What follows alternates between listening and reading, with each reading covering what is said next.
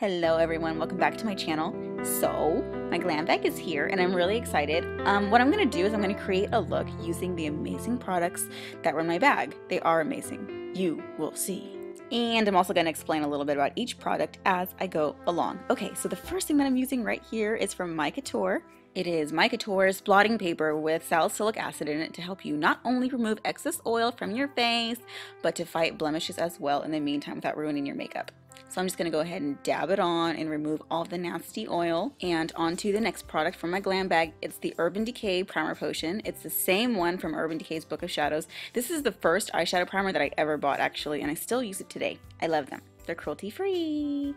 If you're a makeup baby and you're new to primer, um, basically what it does is it just creates a smoother surface for eyeshadow to stick on, making it last longer, and making the colors appear truer. And a little goes a long way. You really only need like one dab per eye. Alright, so now that I've primed my eye, the next product from my glam bag is this full-sized eyeshadow that goes by the name of Sin. It's this really pretty creamy color that I'm going to apply to my lid and into the inner corner of my eyes. Now, since I got a dramatic lip color in my glam bag, I'm going to keep my eyes really simple. And besides, I'm going to be around like my family and my grandma, and I don't want too much eyeshadow on because then they're going to be like, Andrea, we want to see we want to see your natural face. You know how they are. Alright, so I applied it to my inner corner and my lid, and depending on your skin tone, you can actually, well what I like to do is I like to take a little bit of, you know, shimmery, creamy shadow and apply it to my, the upper part of my, of my cheekbones, just to kind of give me a little higher cheekbone effect.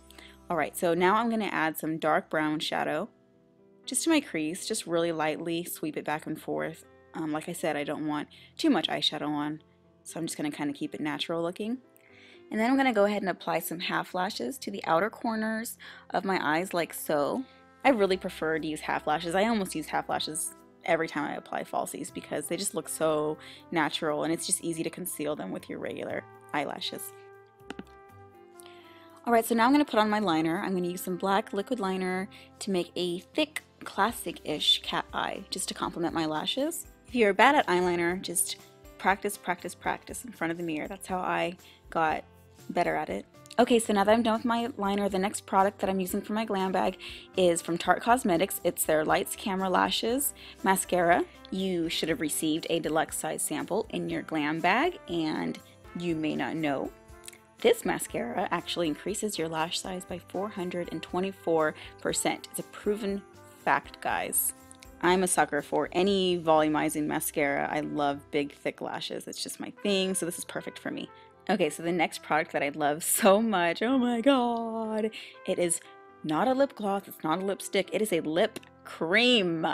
And it smells good enough to eat, but don't eat it because you might end up in the hospital.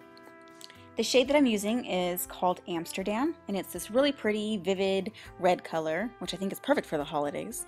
It's soft, moisturizing, and it's matte. I love matte on my lips. I just love this so much. Okay, so the next product that I'm using is actually really different and interesting. It's also from Mai Couture. It's called Pretty Full Blush Papier. I don't know. That's how it's spelled. I just thought it was... Uh, anyways, it's blush that comes in the form of a sheet, almost like a blotting sheet. You just rip it out of the booklet and apply it like so, no mess, no brushes, no nothing. And the blush goes on really well and really easily. I thought that it was a really unique and clever idea from Mai Couture. I love it. Okay, so after that, what I'm going to do is just apply a little bit of bronzer underneath where I apply my blush and around my forehead and stuff like that. And for my hair, I actually decided to just leave my hair straight and down because whenever I go to my family's house, my cousins are always playing in my hair. So I'd rather just have it down. And this is my finished look from all the products that I have in my glam bag. I hope that you guys like it. For more information on any of these products, just go to myglam.com and you can click the little link that says peek at this month and you can find out more of the products info. I hope that you like it. Bye!